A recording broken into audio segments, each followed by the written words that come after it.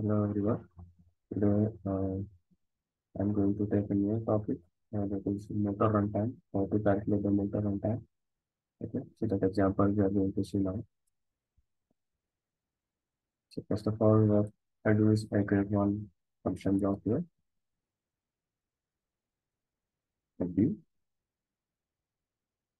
And uh, in the symbolic conversion motor runtime. So we are going to the motor runtime. This uh, when the motor is on and it is going off after some time, right? So I want to calculate the duration of how long the motor was running.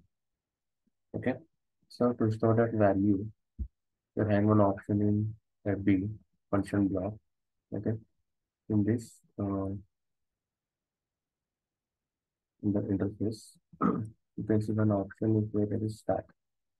And here already seen function and function block. Okay. How to create function and how to create function block using DB. So in DB, what is happening? It is storing the data or information of your function block for this, right? So here in this, again, you see, uh, just like in FC, we are having in, out, in, out, here also we are having the same thing. But one additional thing is there is stat. Stat means static. So here it is also taking uh, some memory address from DB. Okay, so what are the parameters defined here? It takes an address. But when you are calling this FB block in your OB to execute, there you will not find what are the parameters defined here in that block. Okay, so it is storing, it is like uh, storing data in the backend in some memory. Okay, and you can take that address to display SCADA or HMI also. Okay, let's see that example. Under inputs, I define some parental like start.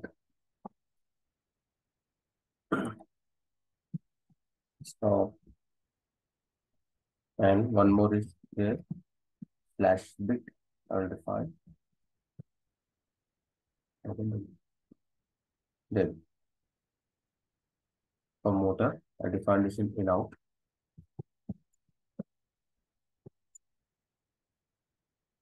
And under stat, I'll define two parameters. One is runtime or you can just mention motor runtime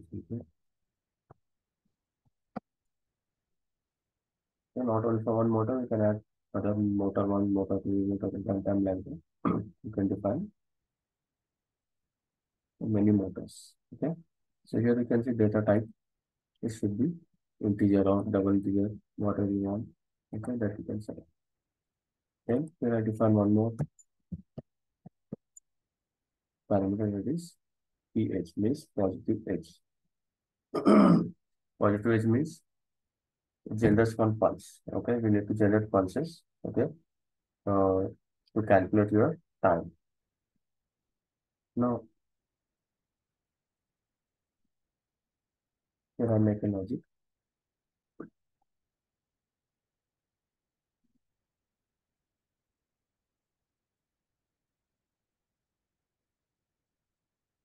Here start.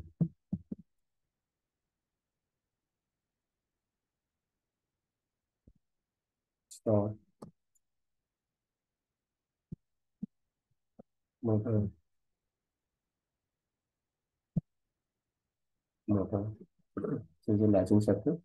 No. So when I give the start command, motor goes on, right? The next network, when the motor is on,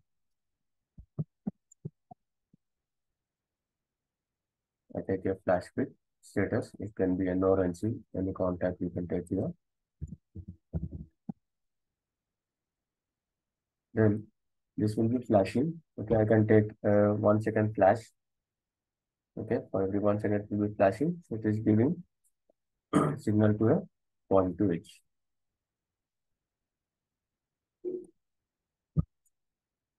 Yes.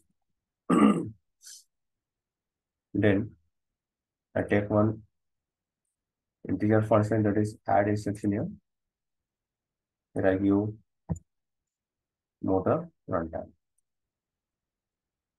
So for each pulse, I want to increment by one, just like for example, a is equal to a plus one, right? So that uh, if you remember this, right? So if a is zero, zero is equal to zero plus one, so it becomes zero plus one one. So your a becomes one again. So 1 is equal to 1 plus 1. So it's an incrementing order, right? That same concept I'm using here in add section. A, there is an output, okay, is equal to A plus 1. So it will be incrementing for each pulse.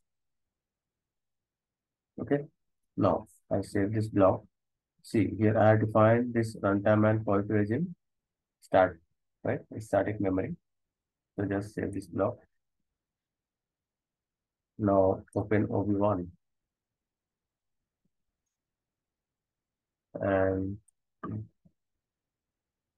call um, this block FB in OB1. There can be some deviators like DB, do something. Say yes. And here I give the addresses I0.4 second. Uh, 0 0.5 for flash bit and 0 0.5 I get. 1.5 means it's uh, every one second flash, right? So here you 0 0.5 something else. Okay. And also I just save this. I go to the hardware condition.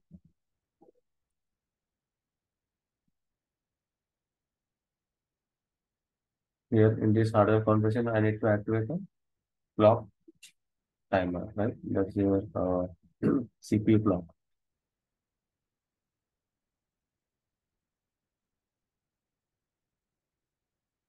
So double click on CPU,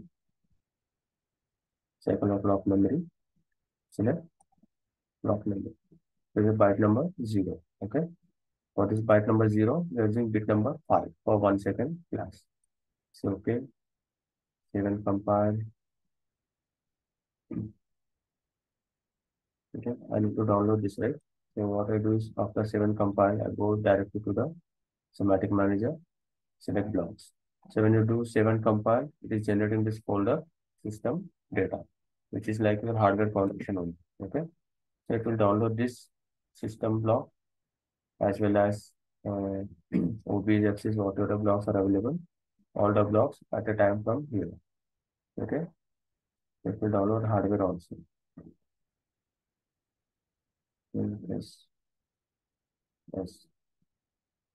Yes. Okay. Now, I will do OB1. Here I can monitor the step. You can see flash video is flashing here. So when I do the start input here, so the start input 0.4. The motor is on. Okay, I want to see the time. Okay, for that you can go to SIMATIC Manager, open DB2.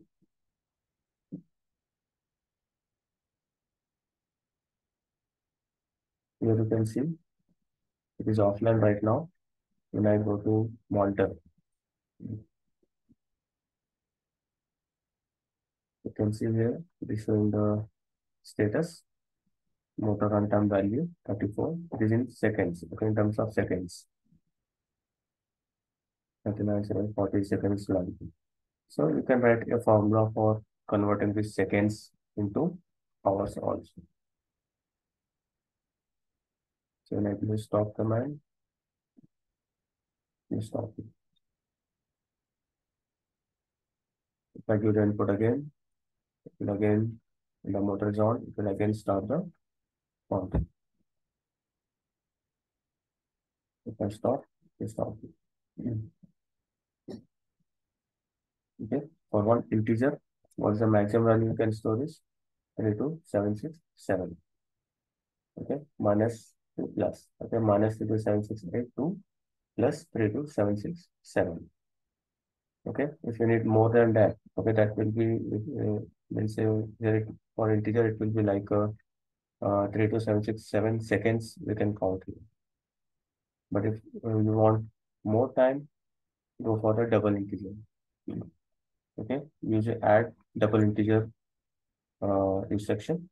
Okay, take a double integer instruction add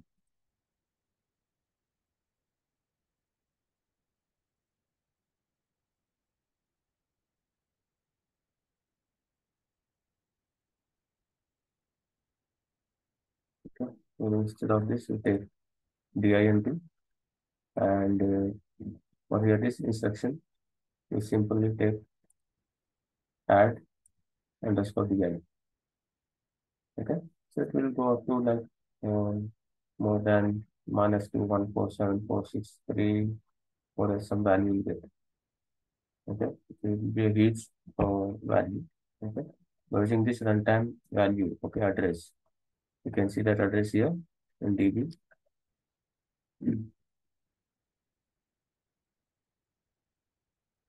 What's the address here? db2 dot db w4. Okay, using this address, you can use uh, addition and what's the uh, time calculator formula. Okay, you can convert these seconds into hours or minutes. Okay, that's way you can display the format in hours also. Now, it is about the motor runtime.